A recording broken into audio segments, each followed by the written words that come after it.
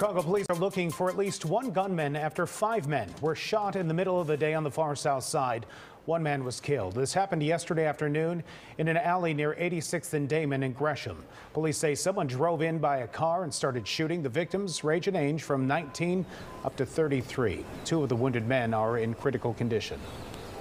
He uh, had this moniker saying in the 90s, it's the economy, stupid. I think I'd like to say it's the gun, stupid. No one is immune to when a gun is has easy access. It always seems to escalate to uh, gun violence, and our communities are never the same once we have that type of violence.